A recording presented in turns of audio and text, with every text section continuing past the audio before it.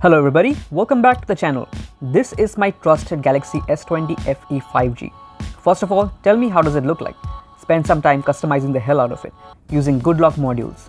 Looking pretty sweet, right? Anyways, this video is not about customization but about an awesome application that will let you use 120Hz refresh rate when using power saving mode. Power saving mode on Samsung phones is very very good. It increases battery life by a lot. Check out the screen on times that I get when using power saving mode. Easily over 7 hours of screen on time. I am mostly on Wi-Fi and mobile data will obviously drain more battery but regardless this is very good battery life. Not only is power saving mode great for increasing battery life it also greatly reduces overall heat output without sacrificing performance. Check out these CPU thermal throttling benchmarks. These are 30 minute tests done under 34 degrees centigrade ambient temperature which is very intense. When using power saving mode, we are actually getting better sustained performance versus regular mode. And the difference will be bigger if I would continue doing the test for a longer duration. Using power saving mode simply makes the phone much cooler in general, whether you are using it for social media, shooting videos, or while playing games. So the power saving mode has a lot of benefits, but one compromise that you have to make is to sacrifice the 120Hz refresh rate in favor of 60Hz which for me is totally fine because I personally don't mind 60Hz on phones. However, some people may not want to make that compromise. Enter Galaxy Max Hertz, an open source application developed by XDA senior member tribalfs. The source code is available on GitHub if you want to check it out and develop further. This application will let you use 120Hz refresh rate while you are in power saving mode. Not only that, you will also be able to use adaptive refresh rate which means as soon as you stop touching the phone, it will drop the refresh rate to 60Hz which will save even more power. So for example, if you watch a lot of YouTube videos or movies, 120Hz is really a waste as videos are mostly in 24 or 30 FPS. So the phone is wasting a lot of power by refreshing the screen 120 times per second. However, the adaptive mode is only available in the premium version of this application. In my control test where I played the same YouTube video at the same brightness level on the same Wi-Fi network, I found a 29% difference in battery drain per minute between adaptive refresh rate versus regular 120Hz mode. So now let me show you how you can install the application and enable 120Hz in power saving mode to get great battery life, lower heat, better sustained performance all without sacrificing high refresh rate. Let's get going. So first of all open the github link down in the description and download the latest version of the application and install it.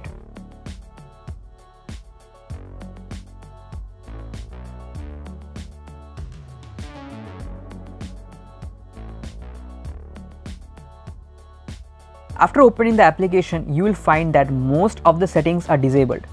We have to give the application right permissions using ADB tool from your computer. So open the second link from the description on your computer and follow the steps. First, enable developer settings in your phone by clicking on the build number multiple times and entering your PIN. Then go into the developer options and enable USB debugging.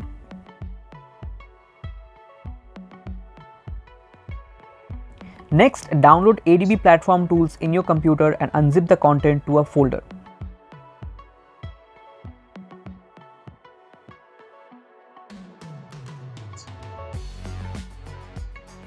Then enter the folder and hold shift and right click in the folder to open PowerShell window.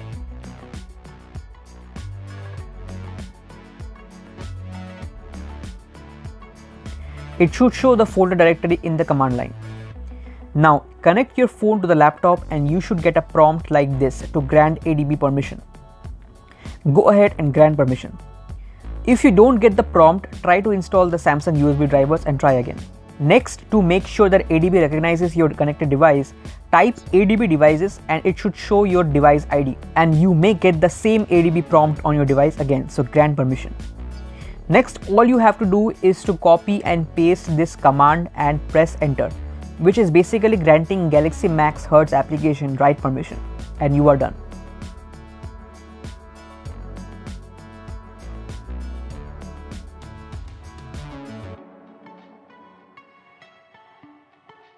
Now here you can see I am in regular 120Hz mode and then I'm going to open the Galaxy Max Hertz app again and select high mode and you can see it shows power saving mode to be in 120 Hz. But when I enable power saving mode, the refresh rate drops back to 60 Hz. So the way to solve this is to select high refresh rate again in the Galaxy Max Hertz application and then open your Samsung dialer and make a dummy video call.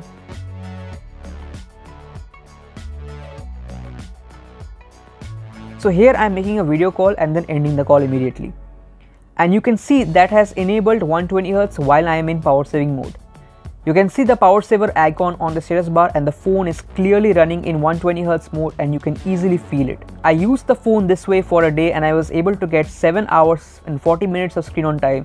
That's about 1 hour more than regular 120Hz mode. Plus the heating was much less. It was much less warm compared to the regular 120Hz mode. So that's it an amazing hack that will work on S20 series, S21 series and beyond.